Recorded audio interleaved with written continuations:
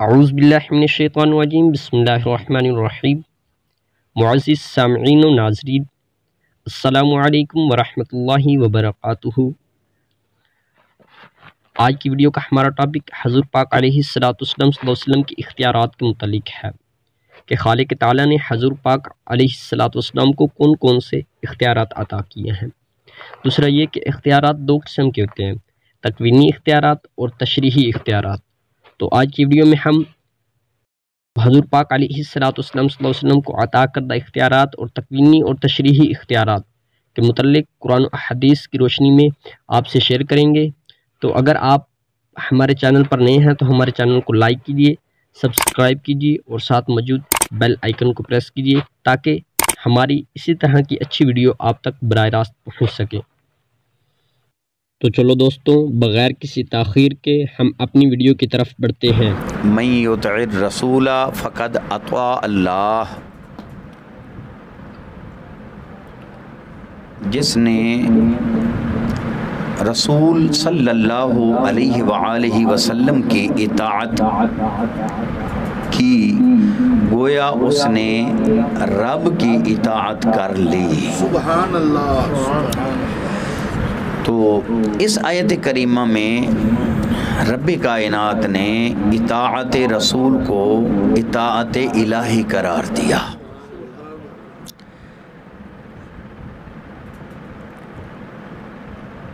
एक बड़ा इल्मी नुक्ता आपकी समातों की नज़र करके गुफ्तु का आगाज़ करते हैं। मई युत रसूल। रब कायनात ने अपने महबूब की बात करना चाही तो सीगा मुजारे का इस्तेमाल किया। और फ़कद अतवा अल्लाह, अपनी बात की तो सीगा माजी का इस्तेमाल किया। नुक्ता ये है, मुजारे के अंदर चूँकि हाल का माना भी पाया जाता है, मुस्तकबिल का माना भी पाया जाता है तो इस आयत का मफहूम ये समझ में आया, इस नुक्ते को, इस कायदे को समझ लेने के बाद कि मुजारे में हाल का माना भी है, मुस्तकबिल का माना भी है तो तर्जमा यूँ बनेगा, जो मेरे महबूब की इतात अब कर रहा है या कयामत तक करेगा, गोया उसने रब की इतात कर ली। रब की इतात कर ली। तो इधर महबूब की इतात करवा के खुद फरमा रहा है, महबूब की इतात हो गई तो समझो रब की इतात हो गई है। महबूब को जिसने मना लिया, उसने रब को मना लिया। महबूब को जिसने राज़ी कर लिया, उसने रब को राज़ी कर लिया। महबूब की बारगाह में जिसने अपनी जबीन न्याज को खम कर लिया और गुलामी रसूल का पटा अपने गले में डाल लिया तो रब कायनात की जात फरमाती है, गोया उसने रब की इतात कर ली है। रब की बंदगी का हक अदा कर दिया है। मैं अक्सर गुजरता हूँ ना दीवारों के ऊपर लिखा पढ़ता हूँ मेरे लिए अल्लाह ही काफ़ी है। मेरे लिए अल्लाह ही काफ़ी है। तो हाजरीन ग्रामी कदर अल्लाह की ज़ात मालिक और मुख्तार है। खाले के कायनात हस्ती है जिसने हम सबको खल्क फरमाया है। इस बात में कोई शक नहीं कि देने वाली ज़ात रब कदीर की है। लेकिन मुझे ईमान से बताएँ, किसी बंदे को डायरेक्ट रब ने कुछ दिया है आज तक? नहीं दिया। जो कुछ कायनात में रब किसी को दे रहा है, वो अपने महबूब के सदके और तो फैल दे रहा है। वो अपने महबूब के सदके और तो फैल दे रहा है। तो आज मैं ना अपनी गुफ्तगु का मौजू मेरा जो है, इख्तियारात मुस्तफ़ा, कि रब ने अपने महबूब को क्या क्या इख्तियारात अता फरमा रखे हैं क्या क्या इख्तियारात दे रखे हैं। हाजरीन ग्रामी कदर, ये बात जहन नशीन कर लें कि इख्तियारात दो तरह के हैं। एक तशरी इख्तियार हैं, एक तकवीनी इख्तियारत हैं। ये टर्मिनोलॉजी थोड़ी सी मुश्किल है, मैं आसान करके समझाऊँगा इन तशरी इख्तियार मेरे नबी के ये हैं कि अगर किसी चीज़ किसी अमल को फ़र्ज़ करार देना है, वाजिब करार देना है, मुस्तहब करार देना है, मुबाह करार देना है, या उसको हराम डिक्लेयर करना है, जो हुक्म मेरे नबी की जबान से निकल जाए, अल्लाह की इज़्ज़त की कसम रब कायनात उसको अपनी शरीयत बना देता है। वो रब का कानून बन जाता है, वो रब का दस्तूर बन जाता है, वो नबी का बोलना गोया रब का बोलना बन जाता है नबी का कोई हुक्म सादर करना रब कायनात का हुक्म सादर करना बन जाता है। नबी के मुँह से लफज निकलता बाद में है, रब की शरीयत पहले बन जाता है। रब की शरीयत बन जाता है। वो फ़र्ज़ भी होता है, वो वाजिब भी होता है, वो मुस्तहब भी होता है, वो मुबाह भी होता है। वो हलाल और हराम के जो अहकाम मेरे नबी ने हमें बता दिए हैं, वो अमलन मेरे नबी के मुँह से निकले और वो शरीयत बन गई। वो शरीयत बन गई। मैं इरशाद सारी शरा सही बुखारी। किताब का नाम इसलिए हवाला दे रहा हूँ, किसी के जहन में ये बात आ सकती है, मौलवी साहब ने आज एक नया मसला हमें सुना दिया है और कभी हमने ये बात आज तक सुनी नहीं थी। तो ये बात कहाँ से मौलवी साहब ने निकाल ली? किताब का नाम याद कर लें, इरशाद सारी शरा सही बुखारी। इसके अंदर सियाबी रसूल हैं, हज़रत बरदा असलमी रज़ी अल्लाह तु बरदा असलमी, ये सियाबी रसूल का नाम है। इन के बारे में मेरे आका ने एक हुक्म सादर किया और वो शरीयत बन गई। वो शरीयत बन गई। इन्होंने ना अभी कुर्बानी के अहकाम नए नए आए थे। इनको उस मसले का पता नहीं था। कुर्बानी का दिन आ गया और एक बड़ी बकरी थी और एक उसका बच्चा था छः महीने का। तो इन्होंने ना बड़ी बकरी नमाज़ ईद से पहले ज़बह कर दी।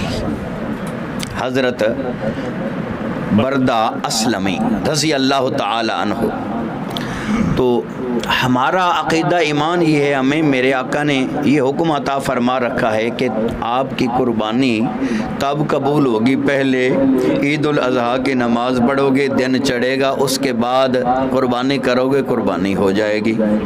तो हाजरीन ग्रामी कदर, बरदा असलमी ने पहले ज़बह कर दी थी बड़ी बकरी, अब उनके पास थी छः महीने का बच्चा, बकरी का बच्चा। तो हाजरीन, बरदा असलमी को जब मसला किसी से अभी ने बताया कि कुर्बानी का तो टाइम ही नहीं था, आपने पहले कुर्बान कर दी बकरी। तो वो दौड़ते हुए मेरे नबी की बारगाह में हाजिर हुए, अर्ज़ की आका मेरे पास कुल यही दो बकरियाँ थी।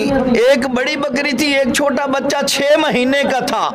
और गलती से मैं ईद की नमाज़ पढ़ने से पहले बड़ी बकरी को जमा कर चुका। अब और मेरे पास पैसे भी नहीं है। और वसाइल भी इस नौीयत के हैं कि उधार उठाना पड़ेगा। तो मेरे आका ने फरमाया बरदा असलमी जा बकरी का बच्चा जो छह महीने का है मैं तेरे ऊपर ये हुक्म सादिर कर रहा हूँ छह महीने की बकरी के बच्चे की कुर्बानी हो जाएगी कुर्बानी हो जाएगी। अल्लाह अकबर। नारा रिसाला। नारा हैदरी।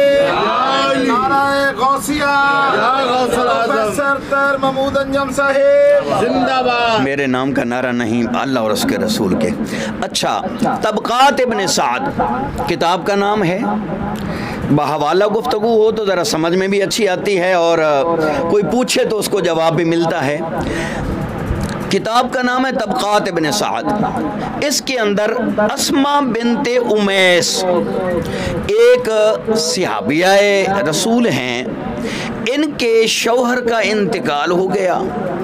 और मेरे आका ने असमा बिनते उमैस को अपने पास बुलाया और फरमाया कि शरीयत का हुक्म तो ये है कि औरत का शवर फौत हो जाए। चार महीने और दस दिन। सूरत बकरा, आयत नंबर दो सौ चौंतीस। हाफिज साहब से आयत नंबर दो सौ चौंतीस मालूम कर लेना, इसके अंदर बाकायदा हुक्म है। अरबाता अशोरम व अशरा। अरबत अशोरम व अशरा। चार महीने और दह दिन, दस दिन। ये कोई औरत औरत का शोहर फौत हो जाए तो उस औरत को इद्दत जो गुजारनी है, चार महीने और दस दिन गुजारनी है। चार महीने और दस दिन गुजारनी है। कुरान में सरी हुक्म आया हुआ है, वाज हुक्म रब का आया हुआ है। और असमा बिनते उमैस, किताब का नाम मैं पहले आपको बता चुका तबकात इबन साद। असमा बिनते उमैस का घर में और कोई कमाने वाला नहीं था, सिवाय उस शवर के। मेरे आका ने बुलाया, फरमाया, असमा, तू सिर्फ़ तीन दिन का सोख करेगी। तीन दिन सोख करेगी और उसके बाद तेरी इद्दत पूरी हो गई गई। उसके बाद तू जहाँ जाना चाहे, मोहम्मद रसूलुल्लाह तुझे इजाज़त दे रहा है। जो करना चाहे, जहाँ जाना चाहे, पर्दे का इतमाम करते हुए सब कुछ कर सकती है। कायनात की कुल औरतों के लिए हुक्म ये है कि चार महीने, दस दिन वो इद्दत का पीरियड घर में बैठ के गुजारे। असमा तेरे लिए सिर्फ़ तीन दिन। मोहम्मद रसूलुल्लाह इजाज़त अता फरमा रहे हैं, तूने सुर्खी नहीं लगानी, तूने मेकअप नहीं नहीं करना, तूने तजीनो आरइश नहीं करनी। सोग के अंदर अपने शोहर के सिर्फ़ तीन दिन गुजारने हैं और उसके बाद तुझे इजाज़त है, जो काम करना चाहे तो कर सकती है। तो ये इख्तियार रब ने अपने महबूब को अता फरमा रखा है। अपने महबूब को अता फरमा रखा है कि जो बात मेरे नबी के मुँह से निकल गई। हज़रत खुजैमा, साहब ये रसूल हैं, हज़रत खुजैमा रज़ी अल्लाह तु मेरे आका खड़े हैं, एक यहूदी घोड़ा लेके जा रहा था, अरबी नस्ल घोड़ा, बड़ा खूबसूरत। मेरे आका को पसंद आ गया। मेरे आका ने उस मालिक से पूछा कि ये घोड़ा बेचोगे? उसने कहा, बिल्कुल बेचेंगे। रेट तय हो गया। मेरे नबी ने फरमाया, तू इधर रुक, मैं घर से पैसे उठा के लाता हूँ। तेरा मेरा सौदा हो गया। पैसे तुझे दूँगा, घोड़ा मैं ले लूँगा। जब घर गए मेरे आका तो एक और यहूदी शख्स आया और उसने मेरे आका का जो रेट तय हुआ था, उससे ज़्यादा पैसे ऑफ़र कर दिए। अब उस यहूदी के मुँह में पानी आया, पैसे ज़्यादा सुन के। पैसे ज़्यादा सुन के पानी आ गया। मेरे आका जब पैसे लेके घर से आए ना तो वो यहूदी कहने लगा, आपके साथ तो मेरा सौदा हुआ ही नहीं था। आपके साथ तो मेरा सौदा हुआ ही नहीं था। मेरे आका ने फरमाया, अभी तो तूने बात की थी और रेट मेरे साथ तूने तय किया था और मैं घर से पैसे उठाने गया। तू अपनी जबान से फिर गया। किसी ने ज़्यादा कीमत लगा दी होगी। वो कहने लगा अच्छा बात यह है, आपकी शरीयत इस बारे में क्या कहती है? अगर कोई निजा आ जाए, कोई झगड़ा हो जाए तो उसका फैसला करने के लिए शरीयत क्या हुक्म देती है? मेरे आका ने फरमाया, शरीयत कहती है कि दो गवाह उसके दरमियान हों। दो गवाह दरमियान हों। जब सौदा कर रहे थे, एक प्यारे आका नामदार की जात थी, दूसरा वो यहूदी था। और कोई शख्स वहाँ मौजूद नहीं था। जब सौदा तय हुआ तो वो यहूदी कहने लगा, अपने गवाह पेश करें, अगर आप अपने दावे के अंदर सच्चे हैं तो आप गवाह पेश करें, मैं आपको घोड़ा दे देता हूँ। घोड़ा दे देता हूँ। अभी ये बात चल रही थी। हज़रत खुजैमा एक सहाबी रसूल हैं। वो जलते हुए मेरे आका के पास पहुँचे। जब देखा कि यहूदी मेरे आका से सौदा करके फिर रहा है और गवाह का मुतालबा कर रहा है, हज़रत खुजैमा कहने लगे, अल्लाह की इज़्ज़त की कसम, नबी पाक की तरफ़ से मैं इनका गवाह हूँ, मैं इनका गवाह हूँ, मैं इनका गवाह हूँ। जब खुजैमा ने गवाही दे दी तो हाजरीन ग्रामी कदर, यहूदी ने घोड़ा मेरे आका को दे दिया। घोड़ा मेरे आका को मिल गया। मेरे आका ने हज़रत खुजैमा से पूछा, तू तो उस वक्त था ही नहीं जब हमने सौदा किया था। तू तो था ही नहीं। तो मेरे आका ने फरमाया खुजैमा तू एक फर्द आया है, एक से अभी आया है। आज के बाद तेरे मरते दम तक एक फर्द की गवाही को दो अफराद के बराबर डिक्लेयर कर रहा हूँ। दो अफराद के बराबर डिक्लेयर कर रहा हूँ। हज़रत खुदैमा फिर करते हैं, आका। आपने जो सवाल किया था, मैंने तो उसका जवाब भी नहीं दिया। आपने और करम फरमा दिया मेरे ऊपर, और करम नवाजी फरमा दी। तो मेरे आका ने पूछा कि तू तो था ही नहीं तो तूने गवाही कैसे दे दी? हज़रत खुजैमाज करते हैं आका, आपने हमें जन्नत के बारे में बताया, हमने कबूल कर लिया, हमने जन्नत देखी नहीं। हमने जन्नत देखी नहीं। आपने बताया, हमने मान लिया। आपने फरमाया, फरिश्ते हैं। हमने मान लिया कि फरिश्ते हैं। आपने फरमाया कि बद अमाल इंसान दो में जाएँगे। हमने मान लिया दो भी मान ली, जन्नत भी मान ली, फरिश्तों पर भी ईमान लिया है नबियों पर भी ईमान लिया है आका आपने इब्तदाए अफरीनत से कयामत तक की बातें हमें बताई हैं। हमने सारी बातों को मान लिया और कबूल कर लिया कि आपकी जबान मुकद्दस से ये अल्फाज निकले हैं। हमारे लिए सनद हो गए। तो आका आप खुद मौजूद हों। खुजैमा कौन होता है जो आपकी गवाही न दे? खुजैमा कौन होता है जो आपकी गवाही ना, न दे? हाजरीन गरामी कदर, ये तकवीन ये तशरी इख्तियार हैं मेरे नबी के। तशरी इख्तियार हैं कि हज़रत खुजैमा आए, उन्होंने गवाही दी, थे एक साहबी, मेरे नबी ने फरमाया, मरते दम तक तेरी एक फर्द की गवाही दो अफराद के बराबर डिक्लेयर होगी। जहाँ तू एक खुजैमा गवाही देगा ना, वहाँ दूसरे बंदे की ज़रूरत ही नहीं पड़ेगी। एक ही बंदे की गवाही दो के बराबर डिक्लेयर कर दी मेरे नबी ने। और ये शरीयत बन गई, शरीयत का हिस्सा बन गया, शरीयत का हिस्सा बन गया। एक साहब, ये रसूल हैं हज़रत बरा बिन आसिफ बरा बिन आजिब एक मार्के से मेरे आका वापस आए। माल गनीमत इकट्ठा मेरे आका के कदमों में रखा गया। मेरे आका घर उस वक़्त जाते थे जब सारा माल से आबा में तकसीम फरमा देते थे। सारा माल से आबा में तकसीम फरमा देते हाजरीन ग्राम कदर, वो हज़रत बरा मेरे आका के बिल्कुल साथ बैठे थे। मेरे आका माल गनीमत से आबा में तकसीम फरमाते रहे, तकसीम करते रहे। सारा सामान तकसीम हो गया। हज़रत बरा मेरे आका की तरफ़ देख के अर्ज़ करते हैं आका मैं तो आपके बिल्कुल ही साथ बैठा हूँ, बिल्कुल ही साथ बैठा हूँ। एक सोने की अंगूठी वहाँ मौजूद थी, बाकी सारा सामान बट चुका था। मेरे आका फरमाते हैं, बरा, अपना हाथ आगे कर। दायां हाथ आगे कर। हज़रत बरा ने दाया हाथ आगे किया। मेरे आका ने इस उंगली के अंदर सोने वाली अंगूठी पहना दी और फरमाया, बरा, कयामत तक के लोगों के लिए मर्दों के ऊपर सोना पहनना हराम है शरीयत मोहम्मदी के अंदर। और आज के बाद ये सोने की अंगूठी तेरे लिए मैं हलाल करार दे रहा हूँ। तेरे लिए हलाल करार दे रहा हूँ। तो हाजरीन ग्रामी कदर, मेरा नबी हराम को हलाल कहे तो वो शरीयत के अंदर हलाल हो जाता है। शरीयत के अंदर हलाल हो जाता है। ये हैं तशरी इख्तियारात। इसके ऊपर मैं कई घंटे गुफ्तु करूँ तो गुफ्तु ख़त्म नहीं हो सकती और इतने इख्तियार मेरे आका के पास रब की तरफ़ से अता करदा हैं। टाइम हमारा बिल्कुल अख्ताम की तरफ़ जा रहा है। मैंने तकवीनी इख्तियार के ऊपर भी थोड़ी सी गुफ्तु करनी है। तकवीनी इख्तियार ये होते हैं कि मौत व हयात, इसका मालिक रब है, लेकिन रब ने ये इख्तियार अपने नबी को भी अता फरमा रखा है। अपने नबी को भी अता फरमा रखा है। और मुश्किल में किसी के काम आना, किसी की मदद करना, मुसीबत ज़दा को मुसीबत से निकालना, ये इख्तियार भी रब ने अपने महबूब को अता फरमा रखा है। मेरे आका मुश्किल कुशा भी हैं और जो मेरे आका के ग़ुलाम हैं, मेरे आका ने उनको भी मुश्किल कुशा बना दिया है। उनको भी मुश्किल कुशा बना दिया है। मैं तो अपने पीर के पास हाज़री देता हूँ ना अल्लाह की इज़्ज़त की कसम। जो मुश्किल लेके जाता हूँ, ज़बान पे भी नहीं आती और मेरे पीर पहले ही कह देते हैं, जा, तेरे सारे काम हो जाएँगे।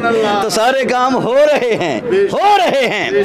तो नबी की गुलामी का पटा जिस जिसने अपने गले में डाल लिया है, अल्लाह की इज़्ज़त की कसम, वो भी मुश्किल कुशा बन गए, वो भी मुश्किल कुशा बन गए। तो तकवीनी इख्तियार रब ने अपने महबूब को अता फरमा रखे। हज़रत जाबिर रज़ी अल्लाह साहब, ये रसूल हैं। मेरे आका एक मार्के के अंदर ना पेट के ऊपर पत्थर बाँध रखे थे। तीन दिन से भूख और प्यास की कैफियत थी। मार्के के अंदर मौजूद थे। हज़रत जाबिर फरमाते हैं, मुझसे देखा ना गया। मैं दौड़ता हुआ घर गया। अपनी बीवी से पूछा, घर में कुछ खाने का कुछ मौजूद है? उसने कहा, एक बकरी खड़ी है घर में। एक बकरी। और थोड़े से जौ पड़े हैं। जौ का आटा बना लेते हैं, बकरी को ज़बा कर लेते हैं। आपका हुक्म है, सारे कायनात के आका मौला ने तशरीफ़ लाना है तो हम दो तीन अफराद का खाना बना लेते हैं। तो हज़रत जाबर रज़ी अल्लाह तन हो आप दौड़ते हुए बारगाह रिसालत में जाके हाज़िर हुए। अर्ज़ की आका दो तीन अफराद का खाना ना मैंने घर में तैयार किया है। आप करम फरमाएँ, तीन साहबा को साथ ले लें और आप भी तशरीफ़ ले आएँ। मेरी दावत कबूल फरमाएँ, मेरे घर के अंदर तशरीफ़ ले आएँ। तो मेरे आका ने ना चौदह सौ के करीब सहाबा कराम उस वक़्त मौजूद थे। चौदह सौ सहाबा को मेरे नबी ने फरमाया, आज जाबिर के घर दावत है, सारे ही तैयारी करो, चलते हैं जाबिर के घर पे। सारे ही तैयारी करो, जाबिर के घर चलते हैं। हाजरीन ग्रामी कदर, तकवीनी इख्तियार की बात बता रहा हूँ। मेरे नबी को रब ने तकवीनी इख्तियार अता फरमा रखे हैं। चाँद को उंगली के इशारे से दो टोटे करके, दो टुकड़े करके जोड़ देना, ये भी तकवीनी इख्तियार है मेरे नबी का। डूबे हुए सूरज को हुक्म देना और वो पलट के वापस असर के मकाम पे आ जाए, ये तकवीनी इख्तियार है मेरे नबी का। और हाजरीन ग्रामी कदर, जाबिर के घर पे जब मेरे आका चौदह सौ सियाबा को लेके गए और हज़रत जाबिर ने देखा, माथे पे पसीना आ रहा है, परेशान भी हो रहे हैं। तीन अफराद का खाना है, चौदह सौ से अब्बा प्यारे आका की मैयत के अंदर तशरीफ़ लाए हुए हैं। तो हज़रत जाबिर ने बकरी को जबा किया, खाना तैयार किया। मेरे आका देख गए, मेरे आका दिल के ऊपर लिखी तहरीर को भी पढ़ लेते हैं। मेरे आका तो दिल के ऊपर लिखी तहरीर को पढ़ लेते हैं। हज़रत जाबिर की कैफियत देखी, मेरे नबी ने बुलाया। फरमाया, जो आटा गूंदा हुआ है ना, वो मेरी खिदमत में ले आओ। मेरे आका ने लोहा बेदहन उस आटे के अंदर मिला दिया। फरमाया, कपड़ा डाल लो ऊपर, निकाल निकाल के पकाना शुरू कर देना। हंडिया ले आओ। हंडिया, मेरे आका की बारगाह में आई लोहा बेदहन डाला, फरमाया, सालन जो भी तैयार करो, उस सालन को निकाल निकाल के देते रहना। बर्तन के साथ सालन ढका रहे। और सब खाएँगे इन शजीज़ तो हाजरीन, मेरे आका ने फरमाया, दस दस से अब्बा की टोलियाँ जाएँ। दस दस से अब्बा की टोलियाँ जाएँ और खाना खाना शुरू करें। खाना इस एहतियात से खाना है कि जो बकरी ज़बा की गई है, उसकी हड्डी को तोड़ना नहीं है। हड्डी के ऊपर से गोश्त उतार के खा लेना है और हड्डियाँ एक प्लेट में जमा करनी है। सारे सियाबा को मेरे नबी ने बात समझा दी। तो हाजरीन ग्रामी कदर, तीन अफराद का खाना चौदह सौ सियाबा ने शेर हो के खाया, फिर भी खाना भी बच गया, सालन भी बच गया। सालन भी बच गया। आखिर में मेरे नबी खुद तशरीफ़ फरमा हुए जब खाना खा चुके। हज़रत जाबिर के दो बेटे थे। फरमाया, बेटा कहाँ है? बड़े बेटे को बुलाओ। तो अल्लाह की इज़्ज़त की कसम, जब ज़िबा हो रही थी ना बकरी तो बच्चों ने देखा बकरी कैसे ज़िबा होती है। बड़े भाई ने छोटे भाई को लिटाया और छुरी उठा के उसके गले पे फेर दी। तो उसका इंतकाल हो चुका था। इधर प्यारे आका भी तशरीफ़ लाए हुए थे। तो हाजरीन ग्रामी कदर उन्होंने बेटे को दूसरे कमरे में लिटा दिया, जिसका इंतकाल हो चुका है। प्यारे आका को खाना खिला रहे हैं। जब मेरे आका ने पूछा ना, बेटा कहाँ है? तो उन्होंने कहा, सोया हुआ है। दूसरे कमरे में है। मेरे आका ने फरमाया, जाओ, उसे कहो, तुम्हारा नबी तुम्हें हुक्म दे रहा है। इधर आ जाओ। इधर आ जाओ। हज़रत जाबिर का फौत शुदा बेटा ज़िंदा हो के बार गहरे सालत में आ गया। ज़िंदा हो के ये तकवीनी इख्तियार रब कायनात ने अपने महबूब को अता फरमा रखा था। ये मेरे आका का तकवीनी इख्तियार है। फिर जब रोटी खा ली, सारी बकरी पक भी गई, खा भी लिया गया। हड्डियाँ एक प्लेट में जमा करने का हुक्म दिया गया। मेरे आका फरमाते हैं, जाबिर इधर मेरे करीब आ। तेरी बीवी को ये बकरी बड़ी प्यारी थी और उसके दिल में ये ख्याल था कि ये बकरी काश जमा होती। ये बड़ी होती है इसके बच्चे होते, इसका दूध हम पीते। तेरी बीवी को ये बकरी थी बड़ी प्यारी। तो हड्डियाँ उठा के इधर मेरे करीब कर। मेरे नबी ने हड्डियों के ऊपर हाथ फेरा और हुक्म दिया, ज़िंदा होकर दोबारा बकरी बन के खड़ी हो जाओ। अल्लाह की इज़्ज़त की कसम, वो बकरी जो जिबा हो चुकी, जो कर चुकी, जो पक चुकी, जो खाई जा चुकी, हड्डियों के ऊपर हाथ फेरा बकरी ज़िंदा होके खड़ी हो गई।